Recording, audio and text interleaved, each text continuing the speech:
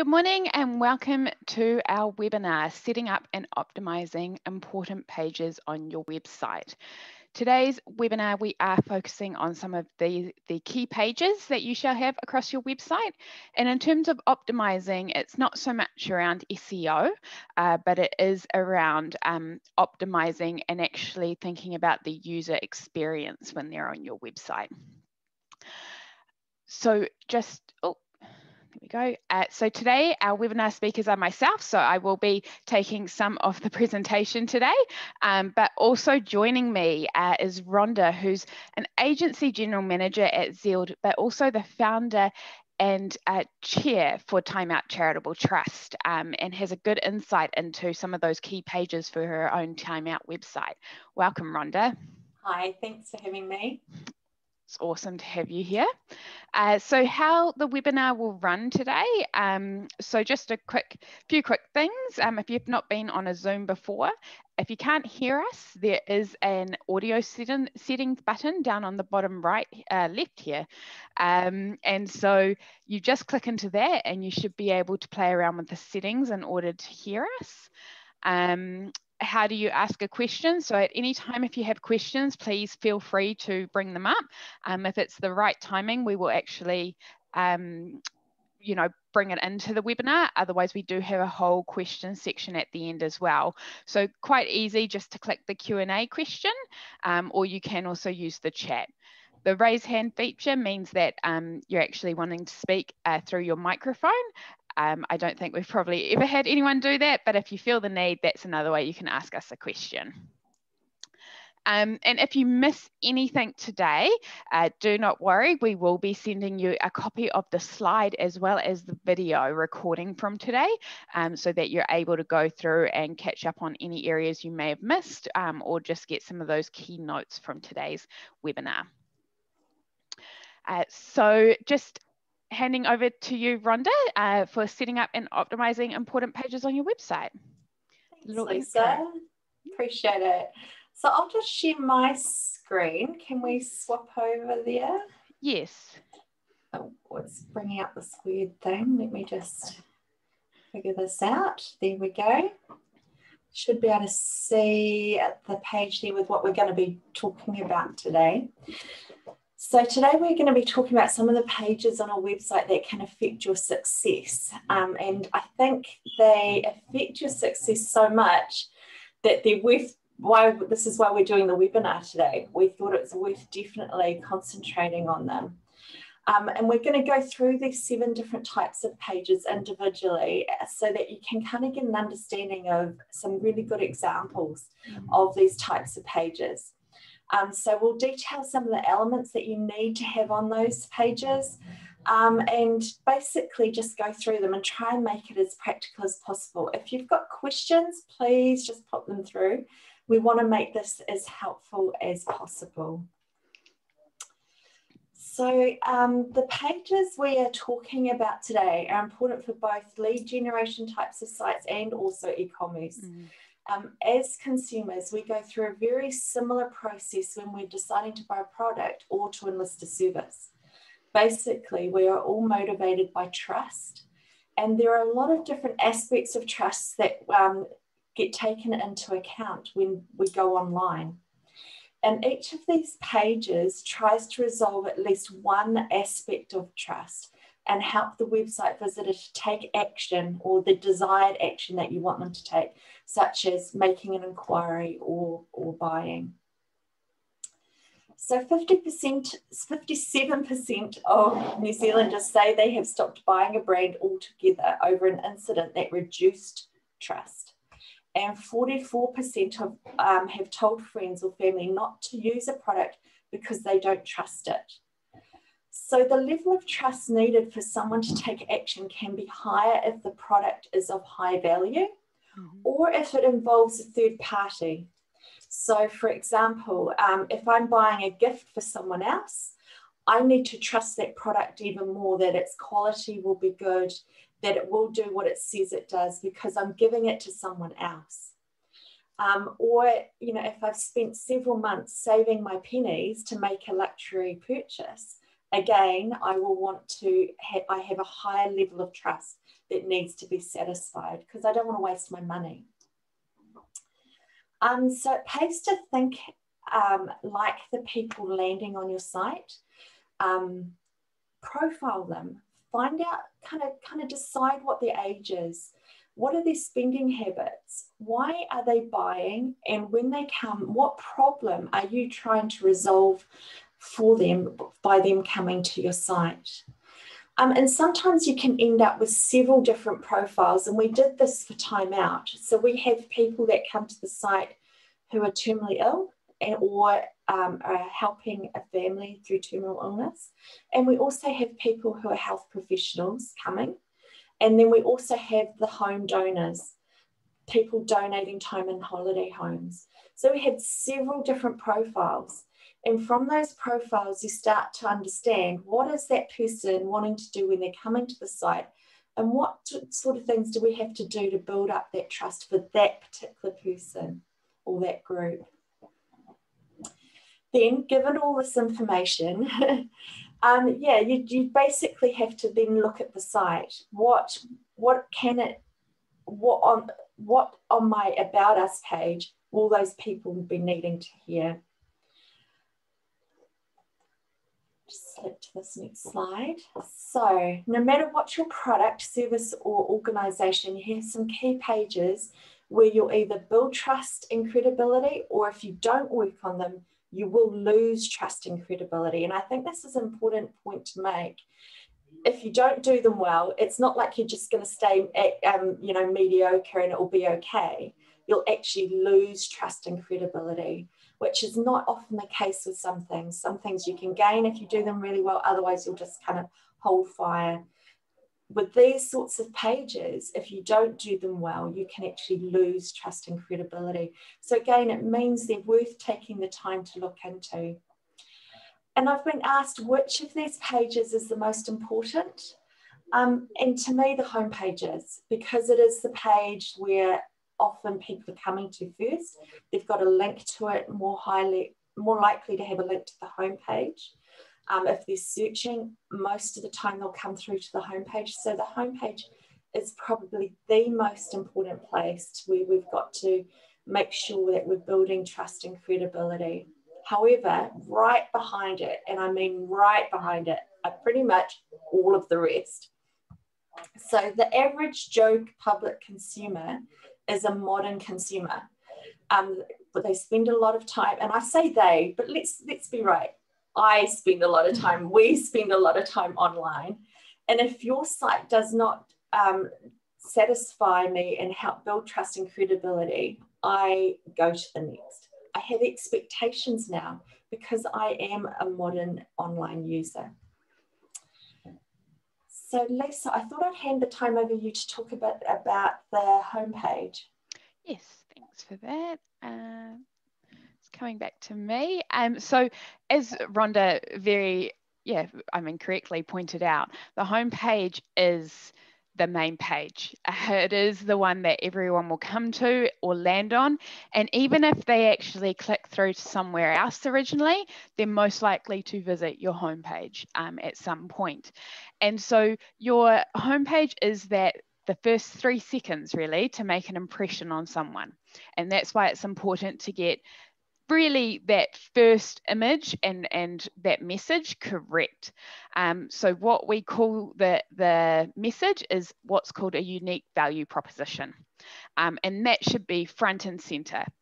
And more often center, don't try and put it to one side or the other, try and have it right there in, in your consumer's face, really, because those three seconds where they start reading that, they're starting to make the decision, am I on the right side? And so if they cannot tell that by reading this space, they are more likely to go away and find someone else that answers that for them. Or they may read a little bit more on, but they still could feel confused because there wasn't a clear outline. Um, so it should be front and center, your UVP, and it should ensure there's clear messaging about who you are, what you do, and what you're offering. So as a consumer, it needs to answer why, um, why am I on your site? Is it for what I'm looking for? Um, and then, as we always say, um, picture speaks a thousand words. You want to use your hero image to back these up. So the hero image should be very relative to what you're saying in your UVP. Um, and it should, well, it should stand out, but it, you should make sure that your UVP font or, and size and color um, really stand out then on top of your image. So for example, if you were having um, your, your color of your font in white, you probably would want to choose an image that potentially has a black overlay over it just to fade it a little and have those white, um, the white font really stand out. But you wouldn't say maybe pick a picture of the ocean or something that. Maybe it has or the sky i should say um, because it may have too much of a light color to it and not help stand out the um, the font color as much, or you may need to change the font color. Um, so the other key thing I think as well with just going back to the UVP, don't try and saturate it with keywords for what you feel people are searching for. It really is that quick elevator pitch. Am I on the right page? Am I, are they going to deliver what I want if I keep searching here?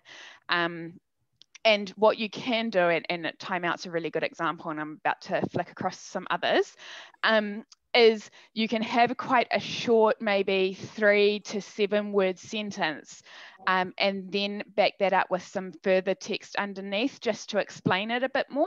And the Timeout website's one that does that well because um, they're just saying what the main um, their main UVP is, and then they back that up with further information um, with a longer sentence that's in smaller in a smaller font. Um, and that way you're keeping it short, um, but you're also getting the information across. Um, no one wants to read a paragraph at this point. Um, then the other key thing that is you need to have in this area is call to actions um, that basically direct your customers onto the next step.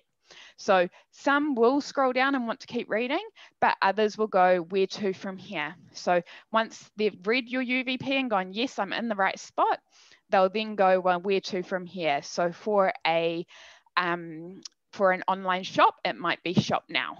Um, for a um, you know, a hairdresser, it might be book an appointment now. So there's just those key things that you need to have there.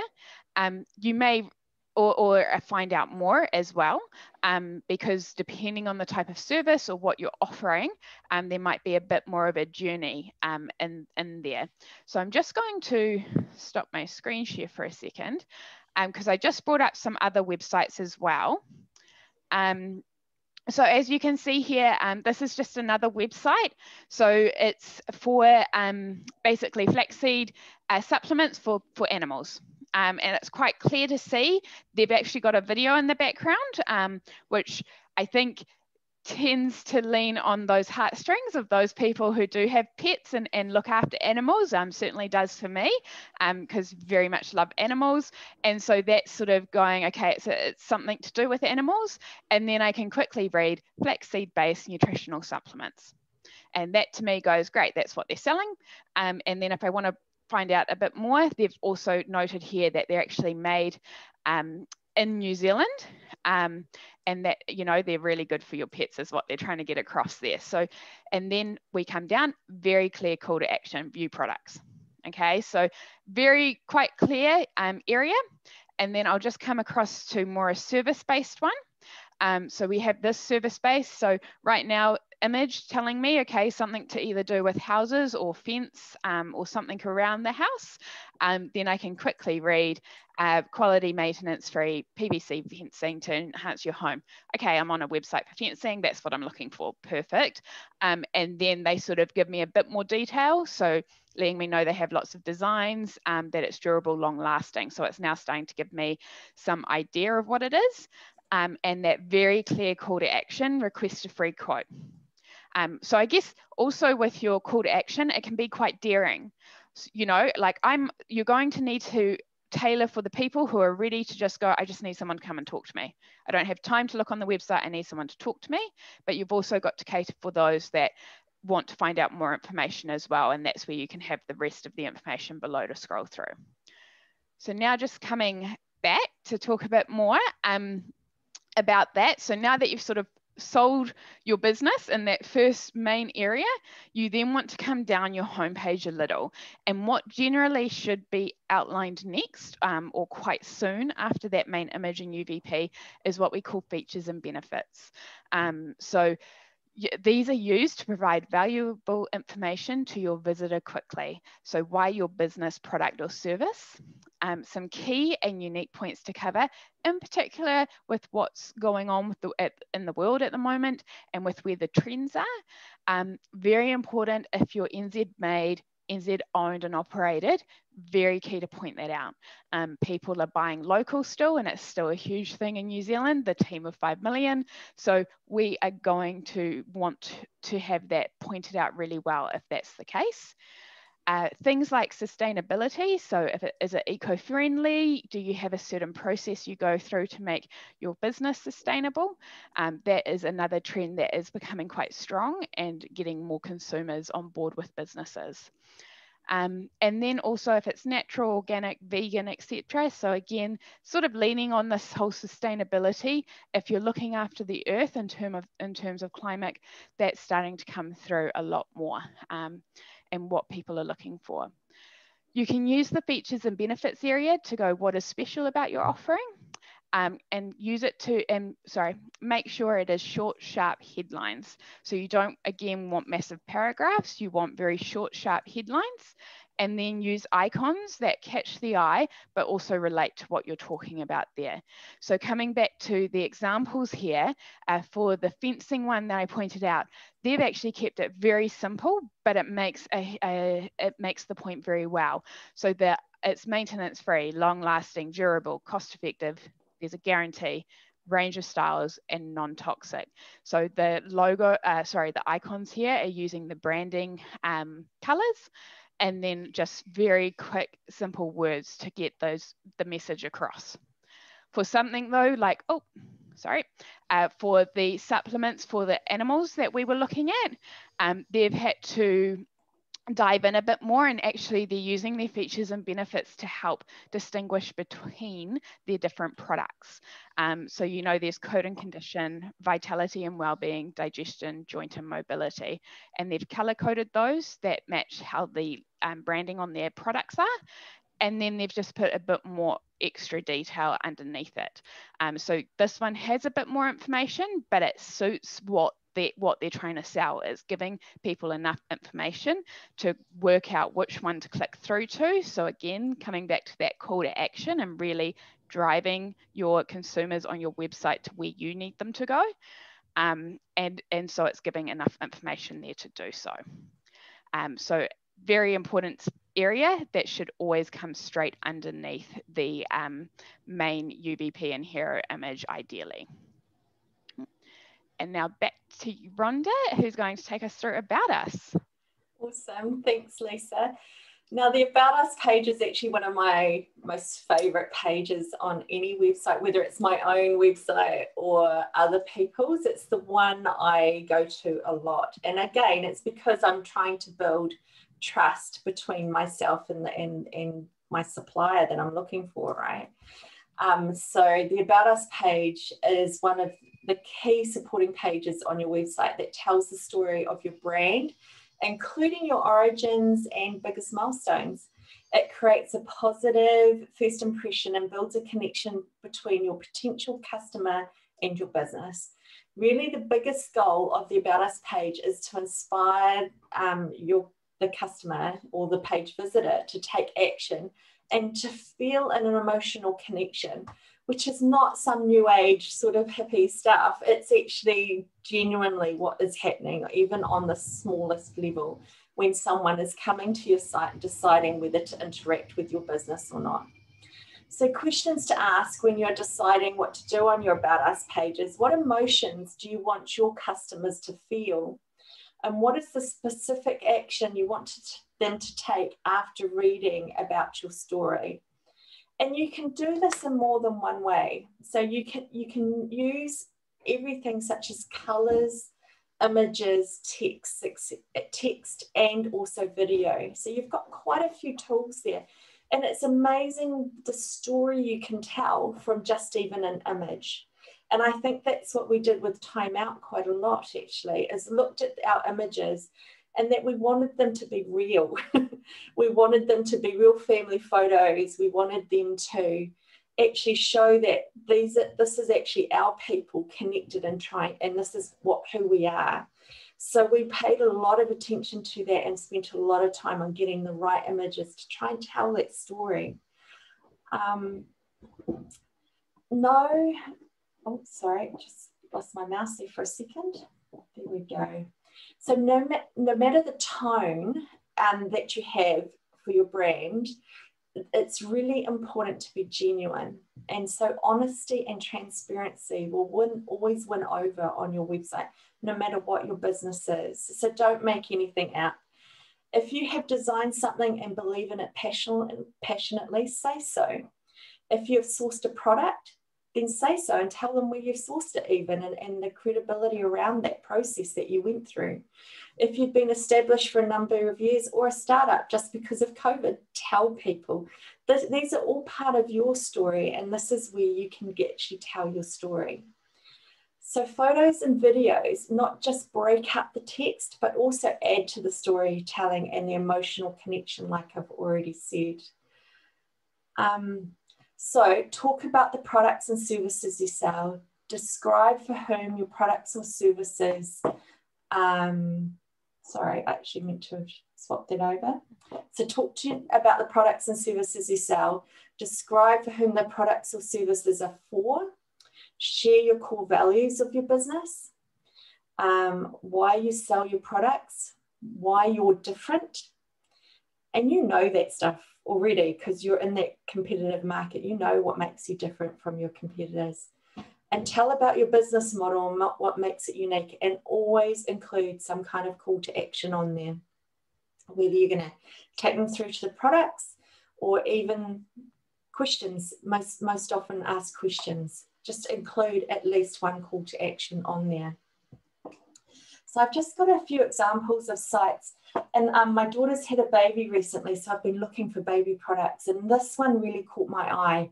Um, Bellatunno, and, and her story is what makes her business quite different.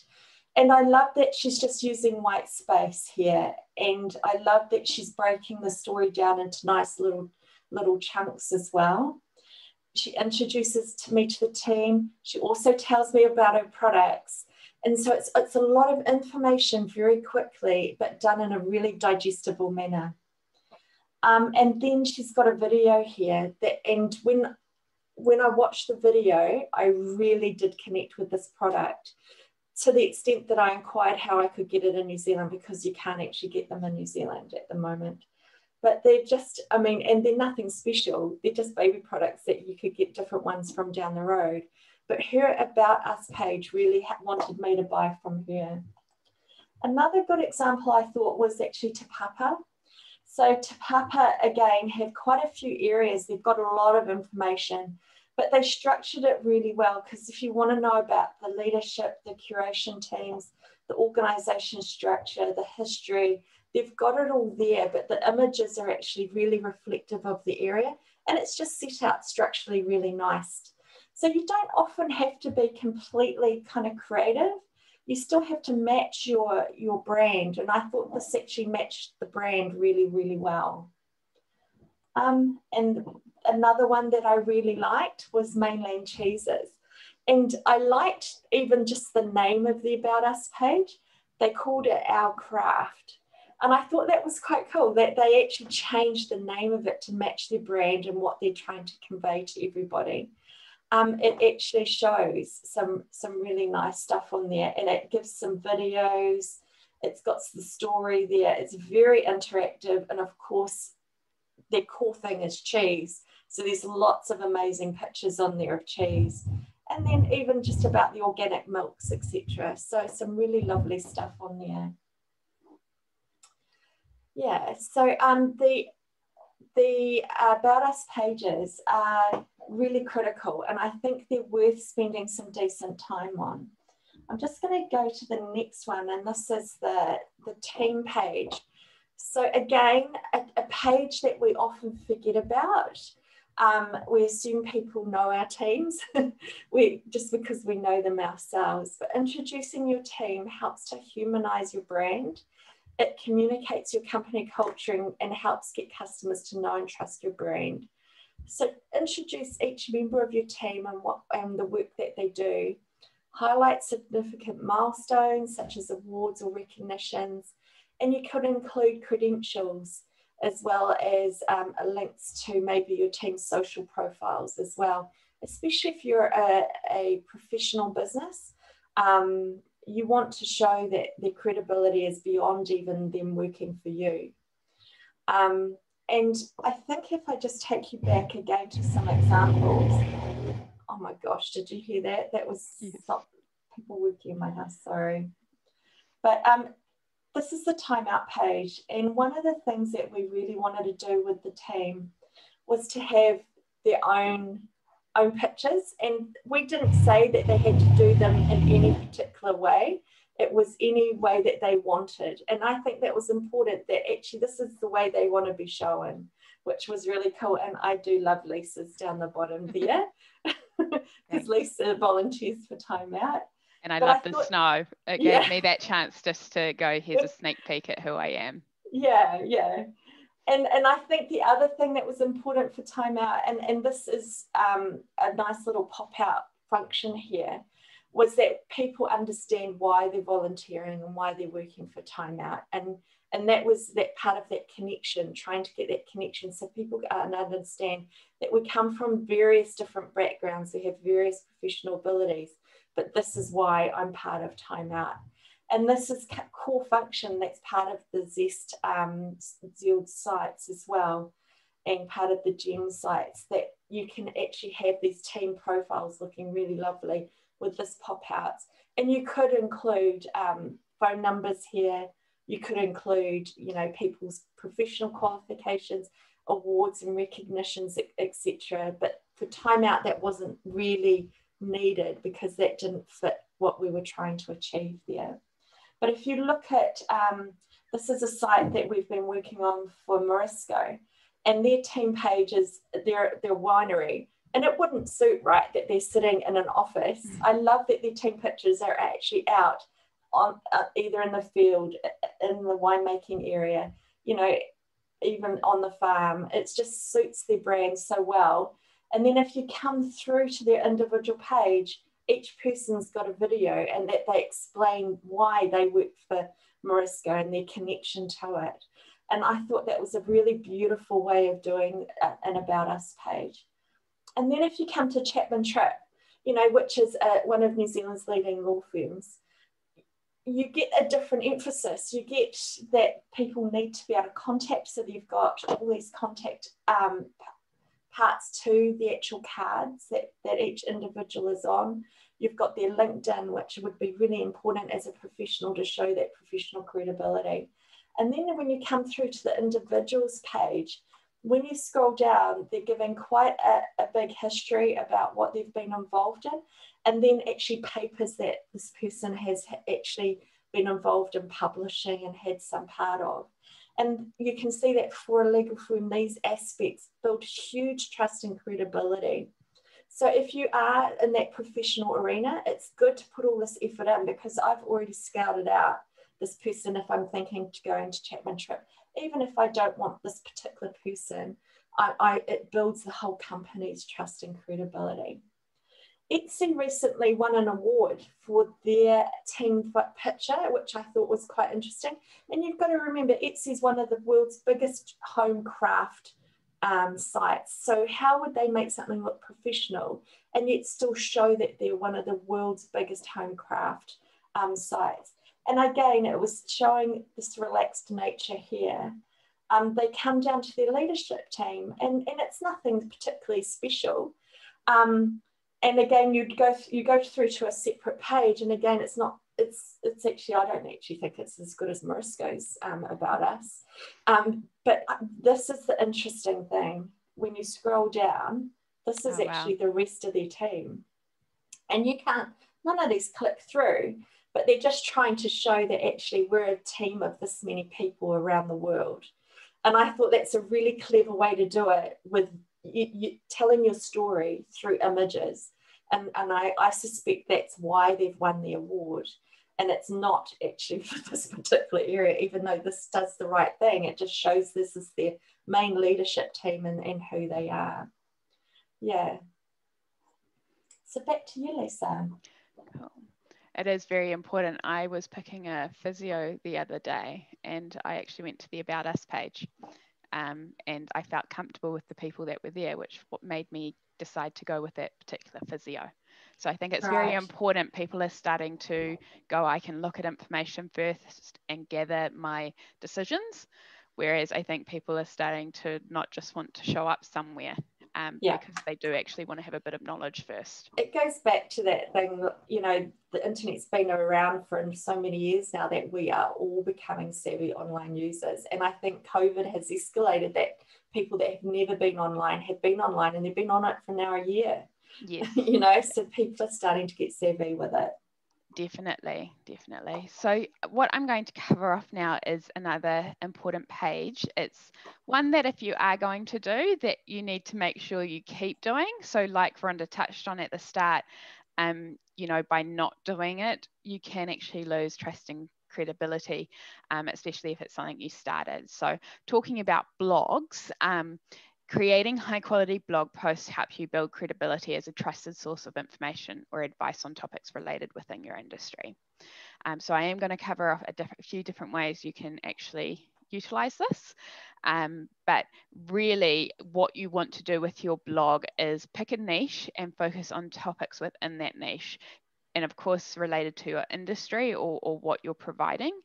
Um, never saturate your blogs with keywords. So when people are reading these, they don't want to just read a whole lot of keywords. Um, and the reason why some people may try and put it, make it quite keyword heavy, is they're trying to benefit more from the search engine optimization that can come with keywords. But there are other ways that you can inject keywords into your blogs without sort of making it a bit hard to read. Um, make sure you are writing with intent, purpose, and value. So, this is where you're really understanding what your customer may be wanting or needing from you, um, and therefore then really uh, zoning in on that. Um, and and sort of really giving them advice without you know sometimes you want to give advice without giving away your trade secrets i mean everyone understands that um, but you want to be able to give them enough to potentially look at it themselves um, and then use that as part of their decision to come and, and purchase off you or choose a service with you. Uh, spending time creating good blog titles is really key. Um, part of that is because you need to try and capture that person's attention within those sort of two to three seconds again. So similar to the UVP on your homepage, unique value proposition, um, you are wanting a blog title that will capture someone's attention quite quickly. Um, I notice on things like Facebook when people are doing sponsored ads for their blogs, um, I will only click on ones that actually capture my interest or make me go, oh, what's that about? Um, so it's a bit similar to also like news headlines as well. You'll notice you'll probably have a bit of a trend on what news headlines you're more likely to click into than what you're not. Um, make your content scannable. So what we mean by this is it should be able to be quickly scanned over um, for people to take out key points. Um, so for those that are time poor, um, they need to just be able to click into it, gather some key points and then move on quickly. For others, they want to read the whole thing. So you do need to be thinking about both sides of the market there. Uh, choose images wisely and position them wisely within it. Um, so, you know, images will back up what you're saying and uh, actually the next bit, the infographics and uh, videos are, are, very key. So quite often within a blog post, you might have a couple of key points. At the end, turn that into a quick infographic so that people can go, here's my key, here's the key points. Um, they're very helpful. The other thing though to, to make sure you don't fall into a trap of, and I think it's whether you're doing working out whether you're going to write something or whether you're going to do a video is trying to explain something that's actually really, really hard to write. Um, and sometimes it's best just to do a video for it with a little bit of text around explaining what the video is for. People these days are very used to videos. They're constantly coming up on social media, on the news, etc., that you may look online. So it's becoming very common. Um, and quite a lot of people actually have more time for videos than they do have for reading. Um, they can play it in the background or they can be focusing on something else while it's playing. Um, and quality over quantity. So don't aim to always write a thousand word blogs. Um, you want to put the quality into the blog and not just have lots of words. Um, so I think that's a very key detail and probably also leads back to not saturating your blogs with keywords. Um, some will try and get more keywords in or more areas in, so they um, going for quantity rather than quality. Another key point there as well is you might find as you're writing that actually what you're writing about stems out and has further points that you want to talk about or further areas you want to engage in further. So why not then create it as sort of a part one, part two, part three sort of story or something that leads um, on to, from one another. Um, so that's another way that you can do it if you do start having lots of ideas, but you don't want to have the blog be too long. So as an example here, um, for Rhonda's one, because I just thought I'd cover off different examples for blogs. Um, Rhonda's, uh, sorry, Time Out's, I should say, uh, their blog is used for our stories. So the stories basically are um, stories of both donors and recipients to the um, service that the Time Out charity provides. Um, and it basically is explaining their story. Um, because it's happening quite often, there are um, there are dates involved with it. So you can see when these people had their experience or donated their home. Um, but they're using a blog in that way to basically engage with people who are new to the website, new to understanding what the charity is about, to then connect them with another, with a person's experience and get them to really understand. Um, and, and basically buy into it. Um, and that's a way you can utilize this. Um, so that's one way. And I'm pretty sure I think if I move on to the next one, that is how I go. So another way to use the blogs is to do tips and tricks. So this way, you're not so much um, having to make sure maybe you do a blog once a month. You can do it less frequently.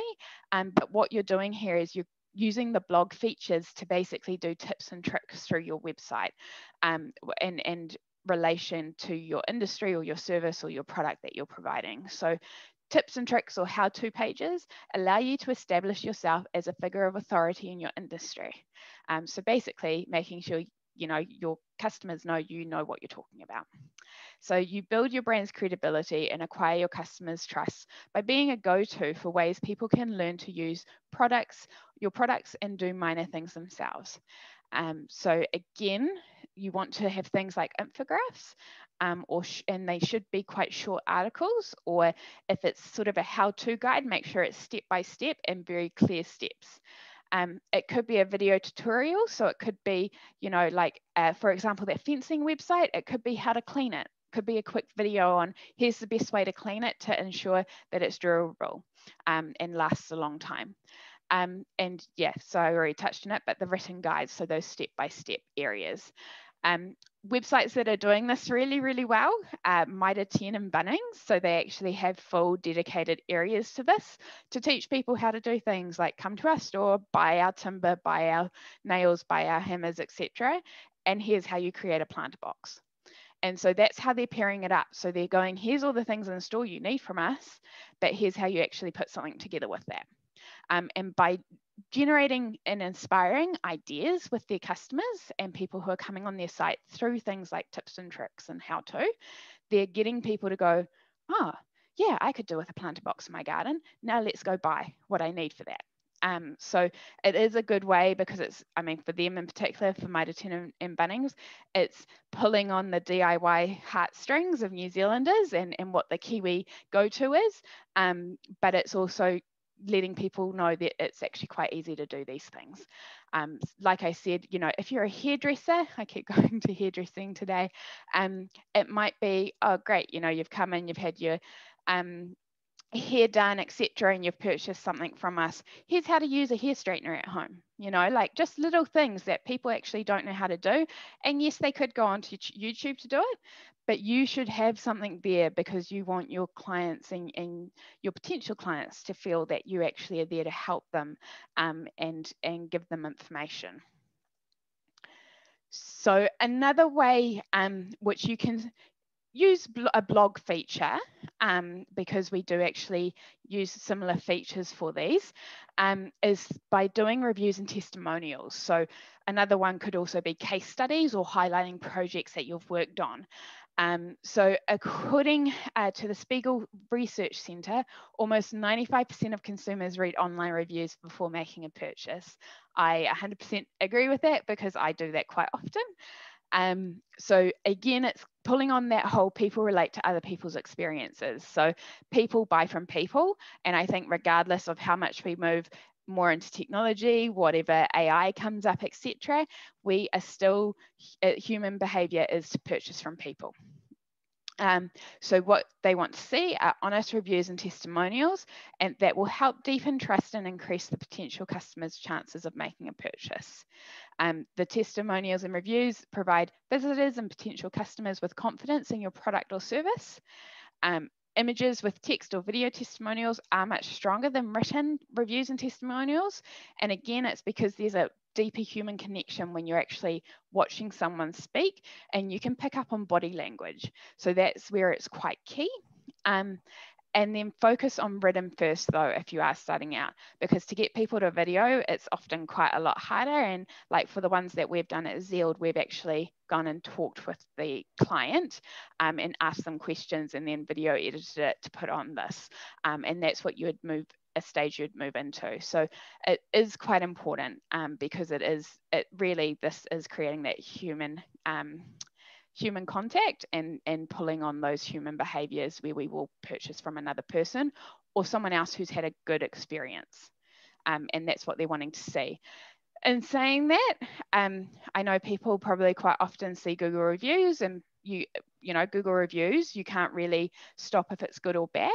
Um, but that's where you know by responding to them and showing people how you've responded to a situation that maybe has not worked out well can actually say a lot about your business and build even more trust and credibility. So for me i'm someone who says embrace any bad reviews as well and show people how well you deal with those and actually how you go to get a good solution in place for them.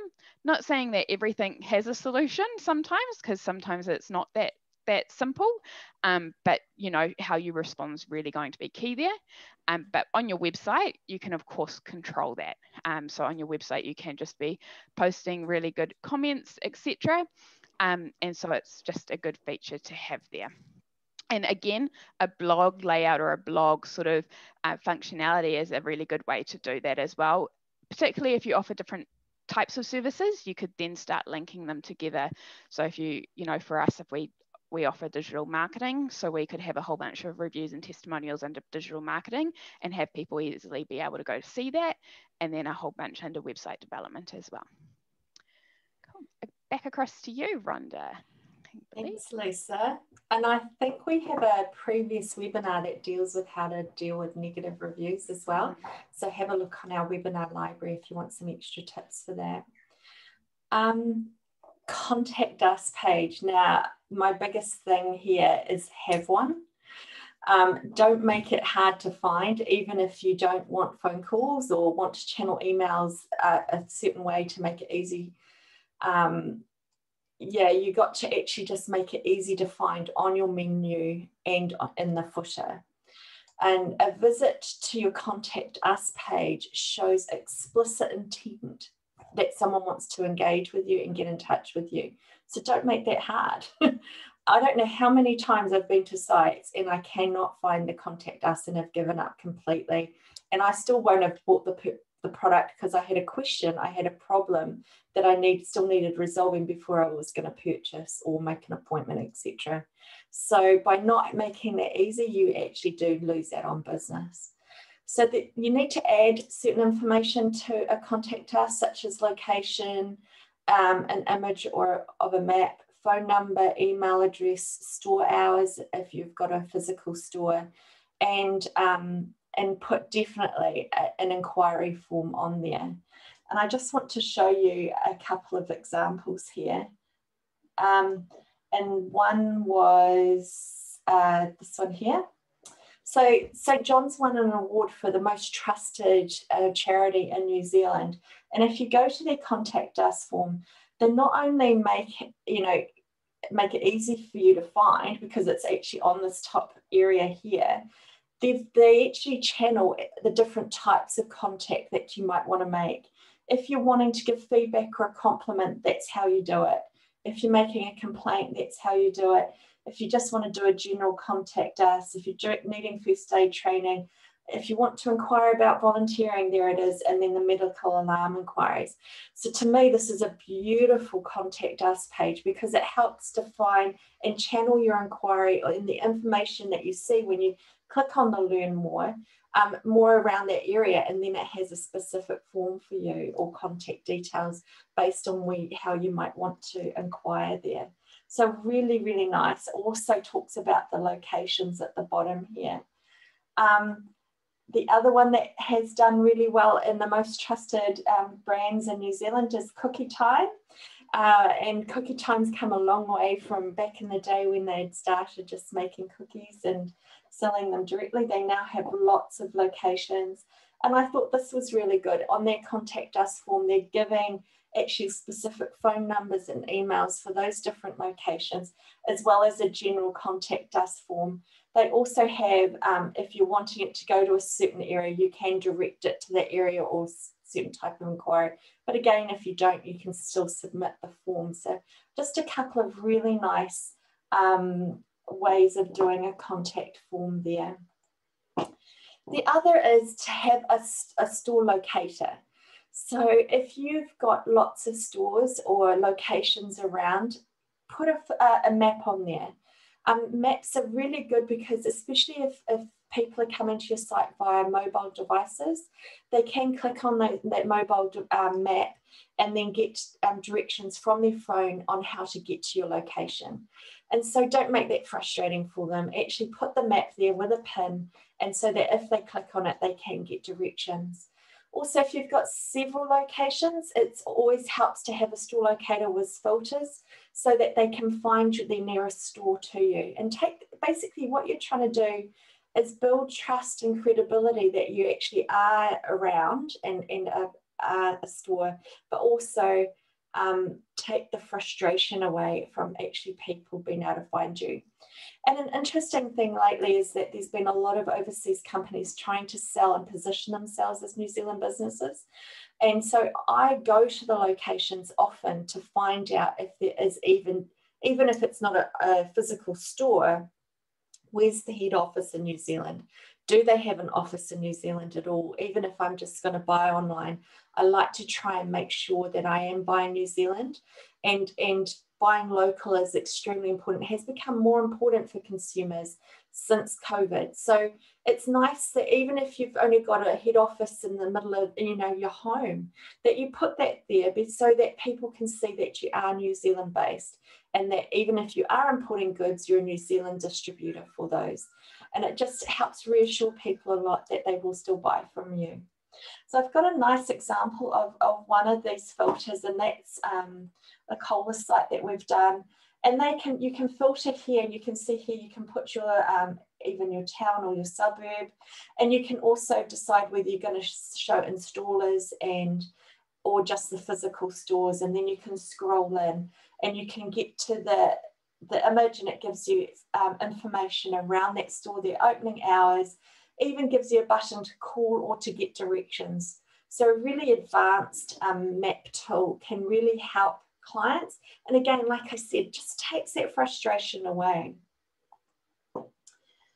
Um, our next area to look at is the logos. And you can have logos on your site for a few different reasons.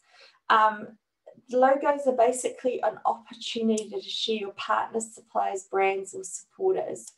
And so have a think about what kind of logos are useful for you to have display on your site.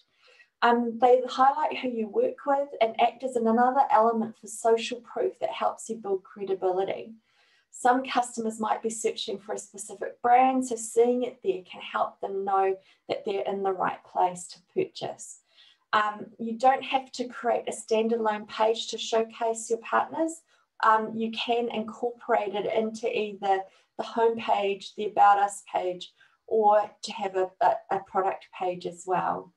And again, just to show you a, a little bit of a, um, an example of this is Time Out. So our homepage, um, this is our homepage here where we're coming down and an element on the homepage is some of our supporters.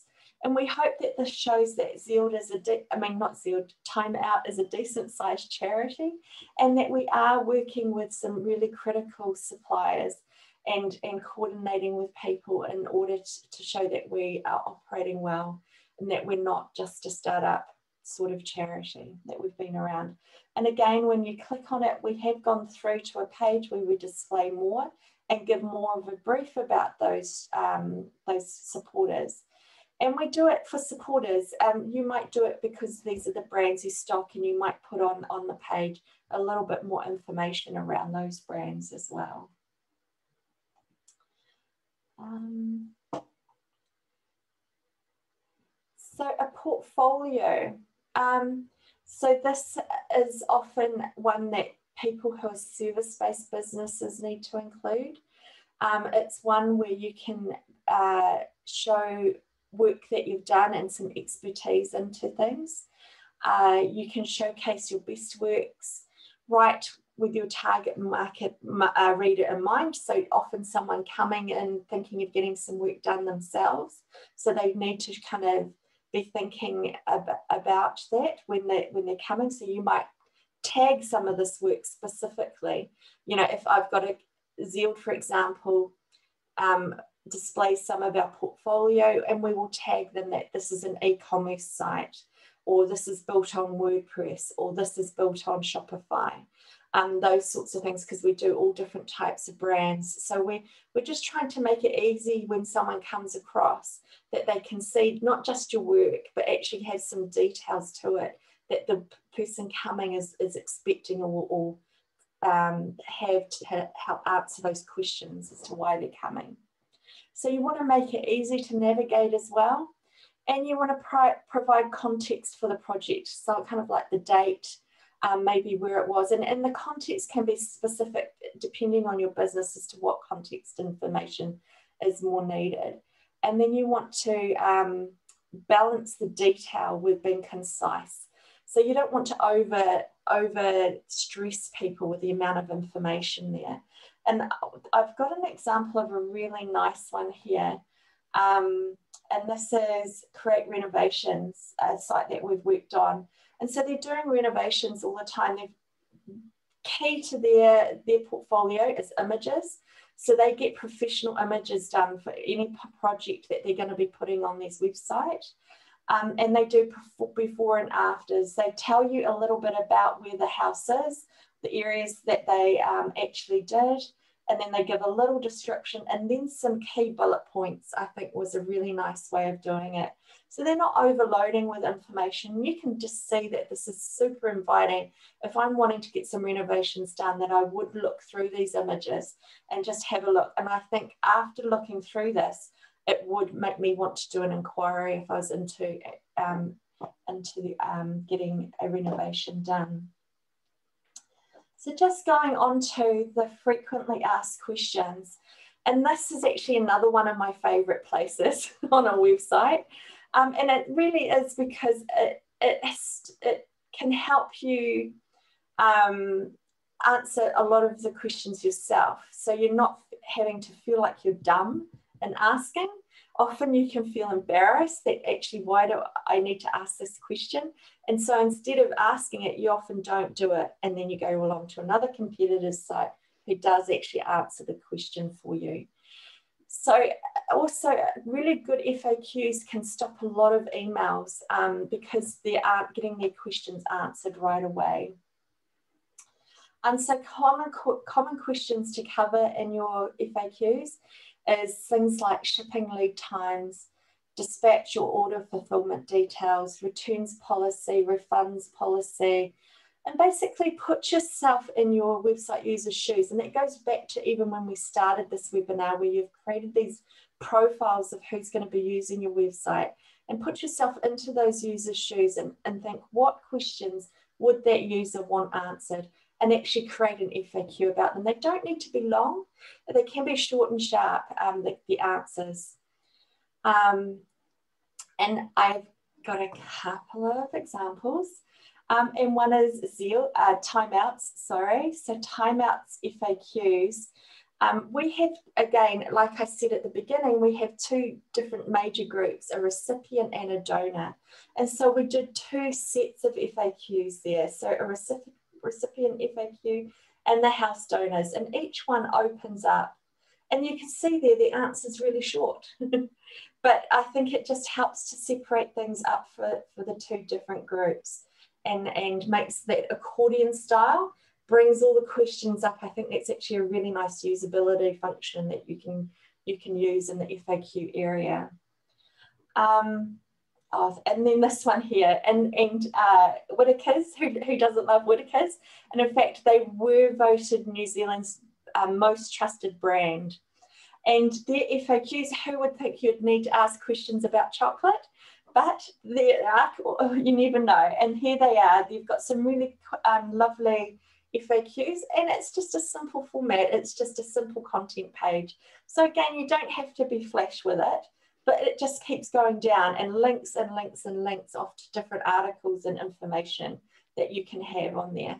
So a really lovely example of an FAQ even on a product that you think there wouldn't be many. um, and I'd imagine if you were an engineering firm, your FAQs will be quite detailed and specific, and you might be linking off. So again, you make it specific to your business. I think just on that, generally your FAQ could actually just be pulling information you've already got on your site elsewhere, but what it's doing is just having it in one spot. Um, so quite often, like you touched on the refunds return policy, people have a full policy on the site, but sometimes just having a quick question and answer under an FAQ around it just helps. Yeah. You know, so people aren't searching. It's that whole searching um, that you want to reduce on your website for information, right? That's right. And, and as a website user, I know websites should have FAQ sections. So I'm not going to waste my time searching all different blogs often, right? I'm going to just actually want to go to an FAQ section. So yeah, and like you're saying, you can link through to blogs or information like that Whittaker's example. Yeah. Definitely. Thanks, Rhonda. Well, before we wrap up for today's webinar, we are open for questions now. So if anyone has questions about anything we've covered or even perhaps a few things we haven't covered and you're just wondering how it would fit in, um, feel free to use the chat or the Q&A button uh, to send those questions through. Um, in usual fashion, I always have a few questions uh, just around what we've covered off today. Um, so one I sort of had, um, I think it comes down to the team page because I know I'm someone who doesn't like photos um, and I hate having my photo taken. So, um, you know, I think that's been a struggle and something I've realized a lot with clients. Um, what sort of what can someone do if they're sort of struggling to get their team members to provide photos or, or get be around for photos even so that you can put them on the team page?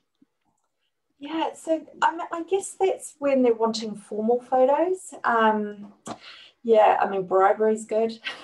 I, have seen some on on that have been caricatures, so mm. art artworks done. Yep. They can be even um, uh, symbols, you know, like for the different roles and mm-hmm. then put in. But really, it's just about being creative with it, and I think making it the style suit your brand. And I think your, your staff are probably more likely to be compliant if you're not making them dress up, or, you know, that sort of thing, or go into a, an environment that they're not familiar with. So if I was an electrician and I was wanting to get staff photos, I'd just turn up on site, take take some photos of my guys on, on the job, you know. Um, and I think that really makes it relatable rather than getting them to dress up and have sit with it and have a formal photo. Yeah. Yeah, no, definitely. And even just a team photo sometimes takes that away because people don't often mind being in a photo if lots of other people are there.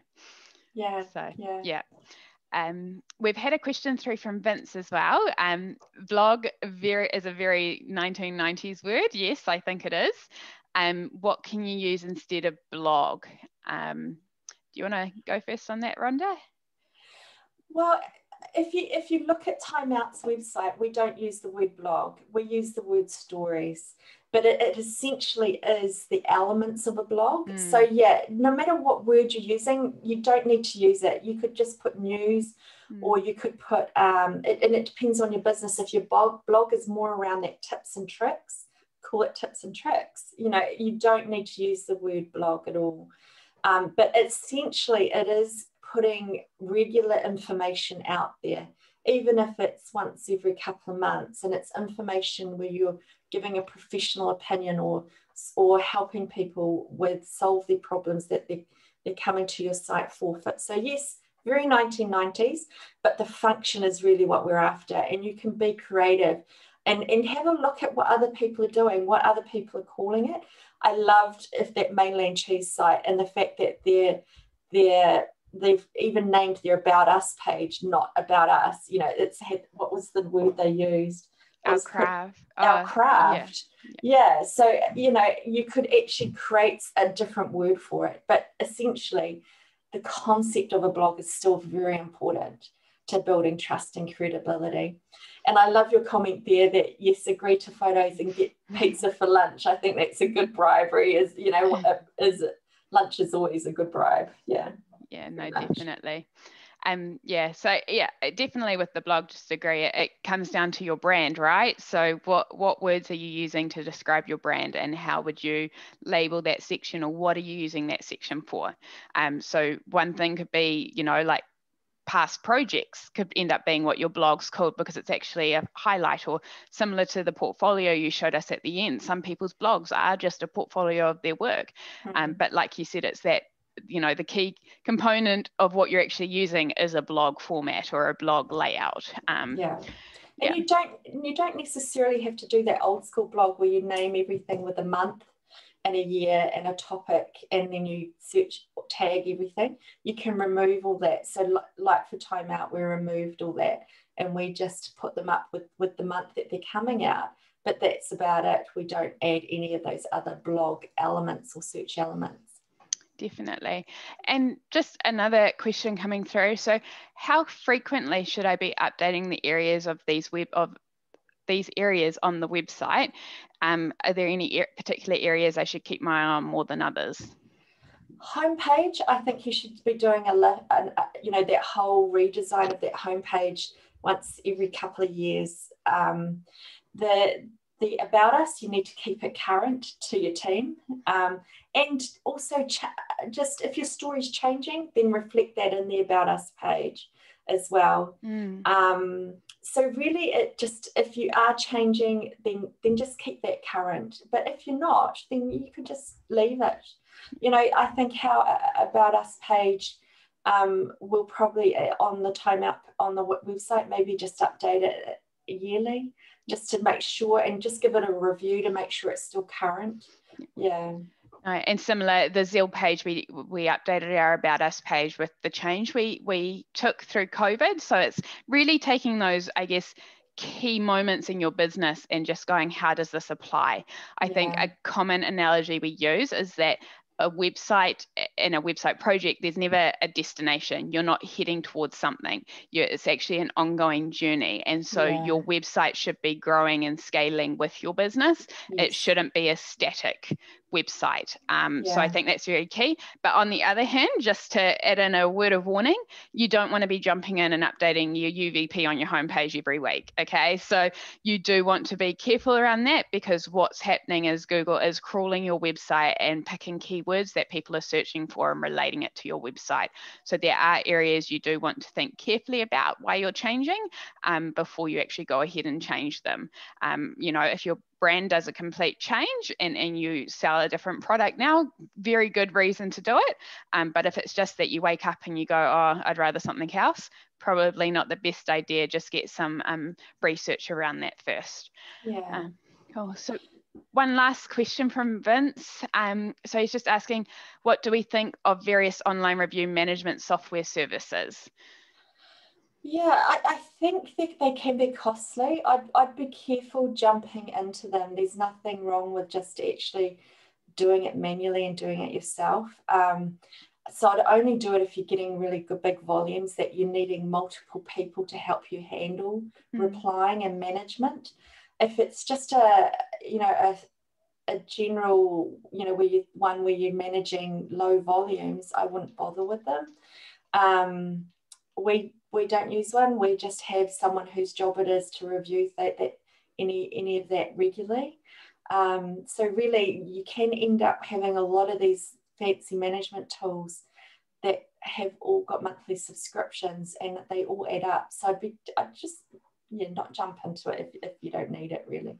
Yeah, I definitely evaluate your business and see what's fitting. Um, if it's in regards to just even asking for reviews, you know, sometimes it's as simple as when you send out like i got a package yesterday and in the package there's a please you know if you love our product please jump on here and leave a review so there's some simple ways to add it in to just your everyday process that people will go through on your website um, that can you know result in no cost um, initially but certainly if you're getting to a level where you really really feel that you need something to help with that um, then going to, to look at solutions with online review management um, software and other areas will can help.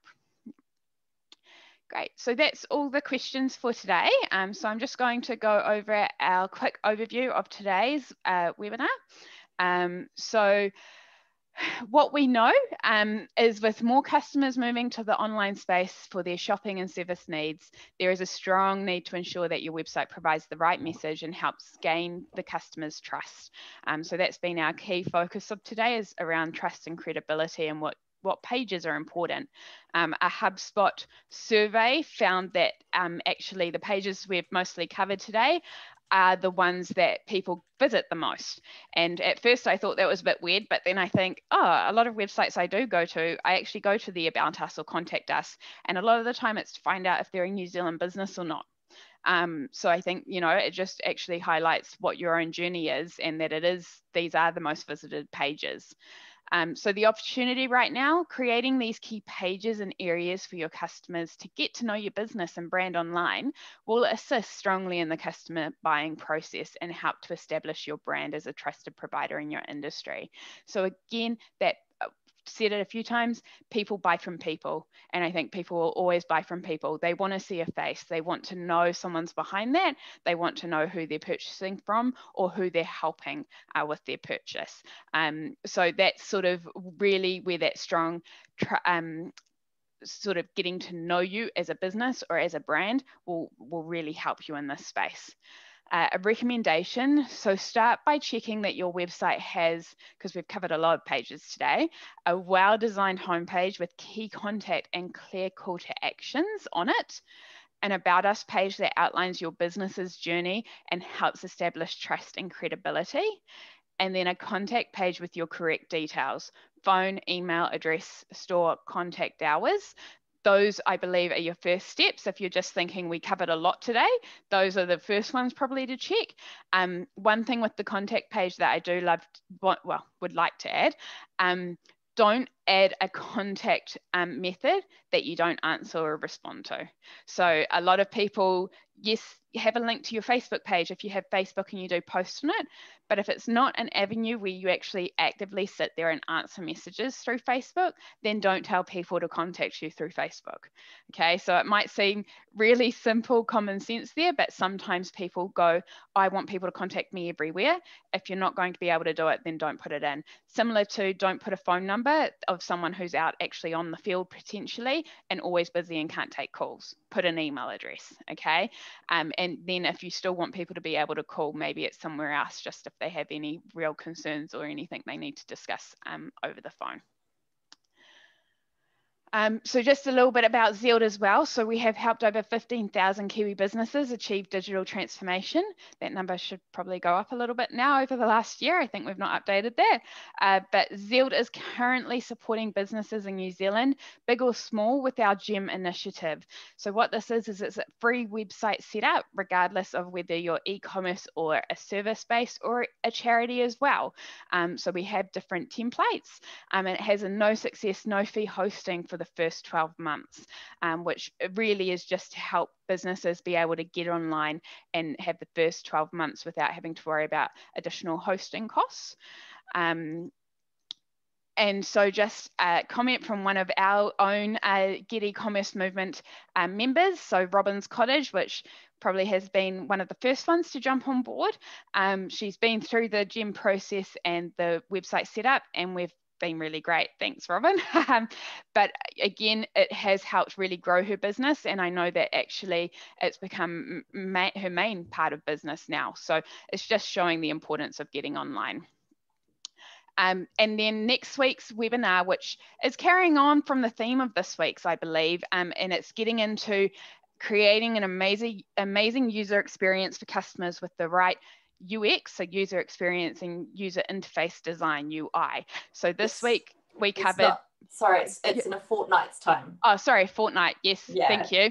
Um, so so today we talked about how to optimize your site for a user experience to build that trust and credibility.